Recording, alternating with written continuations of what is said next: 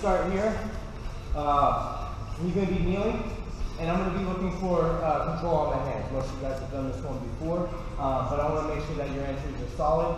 Okay, I'm going to grip at the hand, thumb at the palm, grip the hand, and look at how I start turning the hands inward. And I do so without like overexerting or, or anything. I'm just like, I'm just turning the hands in, right? Looking for like a hand, hand control here, hand manipulation, playing mercy, right? Getting his elbows to turn outward. This is going to lead to my entry in on the belt, okay? And then from right here, I'm gonna pick my side. Okay, so uh, typically you're gonna you're gonna get your side picked by by like what what side he puts his head on or what side you will be with your head on. Okay, so if my head's looking this way, I'm typically gonna move my butt back this way.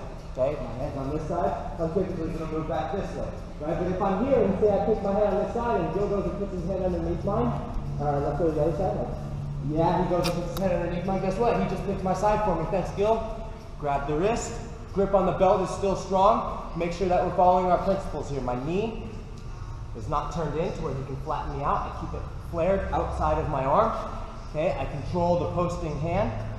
The bottom foot is not going to be hooking on the leg anymore. I'm going to be putting the pinky toe onto the mat. Okay, and then when I fall, I want to fall to my edge. Okay, there's a, a U on my back, right? And I want to stay on that U, like from shoulder blade, tailbone, shoulder blade. Okay, you want to stay somewhere within that region. When I'm here, I don't want to fall back like this and try to hook sweep. Okay, I want to fall back to my edge here. And that brings us to our final, our final point here is I want to take my head out of the way. This is kind of new knowledge for me, and I've been testing it out and having good success with it.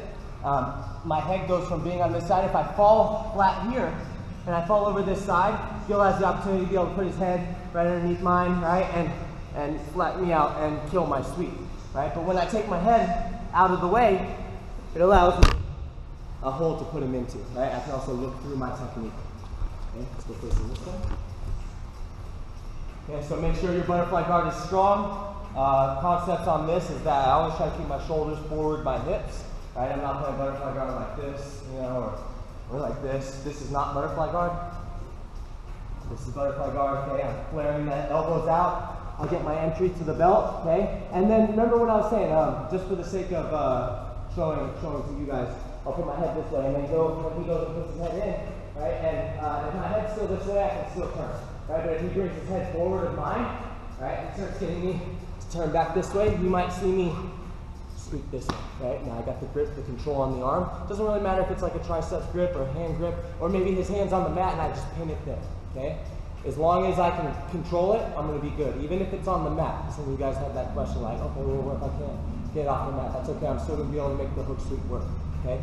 Following the other principles, toe is gonna be on the mat, okay? When I'm pulling Gil up, I wanna make sure that I'm loading with this hook and then making it to where I can push off of the earth with this foot, okay? I'm gonna go to my edge and I'm gonna get my head out of the way. And if his hand's on the mat, you're gonna see me look to try to take him over over that hand. Okay? Go again. Go facing this way. Grip on the hands.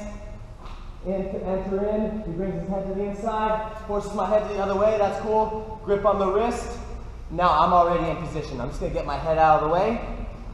I'm going to bridge off of the foot that's onto the mat. Okay? And I can take him over with the hook sweep. If you guys find yourself like in this quarter guard type of position with an underhook, hand on the mat, and you feel like this guy's turning into you, well, I could just work my way right into my knee cut. Or if his, his guard's wide open, then you'll see me just take my foot off and, and come to a strong mount. Okay, one more time. Okay, grip on the hands, turning the elbows out. Okay, I find that grip on the belt. Keep the belt, uh, belt grip, guys. It's hard for him to disconnect from this. Right, he works his head to the inside, He's decided my, my direction now. Even if this hand stays on the mat, that's great. Pinky toe here. I'm gonna get my head out of the way, and I'm gonna make it to where I can sweep him over. Take him right over that hand if I need to. Cool? Questions on this one? No? Okay, let's drill on two. One, two.